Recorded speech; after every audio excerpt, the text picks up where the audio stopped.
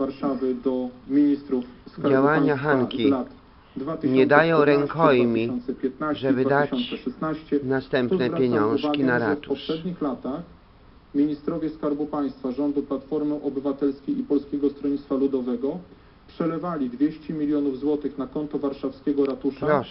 na podstawie Co jedno